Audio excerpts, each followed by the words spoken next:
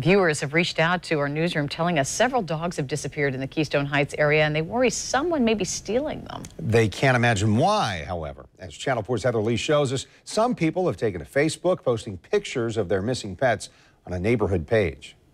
Well, one viewer says that she is extremely concerned. She says she knows of at least 10 dogs that have been taken out of yards.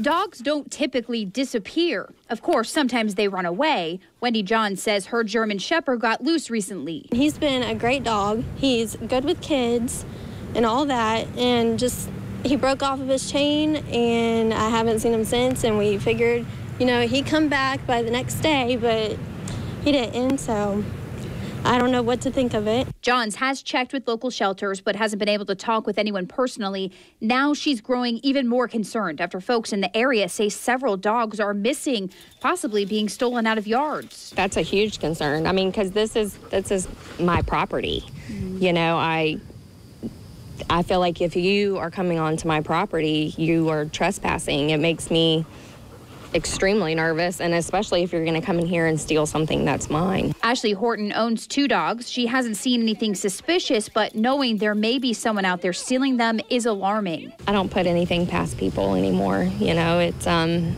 and to go into people's yards and steal their pets for possible dog fighting, I mean, I just, I don't even know what to say, really. Johns just hopes if her dog was picked up, it was with good intention. I think it is a possibility that someone could have took him. I mean, they see him on the side of the road, you know, running around, and he's not vicious, so he would have came right up to him and, you know, jumped on him. It makes me kind of want to put them back there in a pen or, you know, get a surveillance camera or, you know, something, you know, put up out here.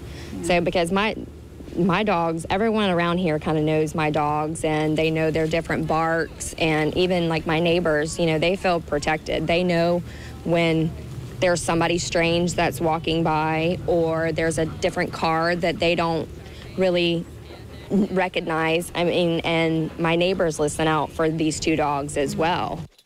Now, the Clay County Sheriff's Office says if you believe that your dog has been stolen, you need to make a police report. That way, they can also be on the lookout for any missing dogs.